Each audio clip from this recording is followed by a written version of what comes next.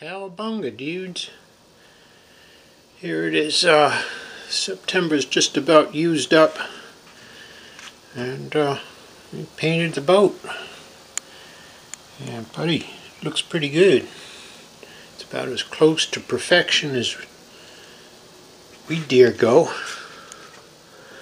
Um, mainly due to the good flat paint that I used. It's not going to look this good once it gets the shiny stuff on it, but sure looks good now. There's some hatches here. By golly, they look like they're molded. Look at those nice corners. Looking good. Um,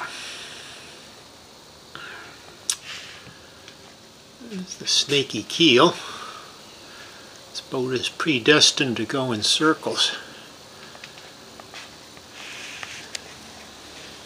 There's another one that's pretty similar to it out there. I think its keel might be a little straighter than this one. Sure are a lot of hatches and windows. Feels like a display for hatches and windows was going to put another one in the stern there. I'm, I'm not so sure I'm going to do it now. I'm tired of these hatches and things. Anyhow, it's about time to turn this hull over and get back to work. See if we can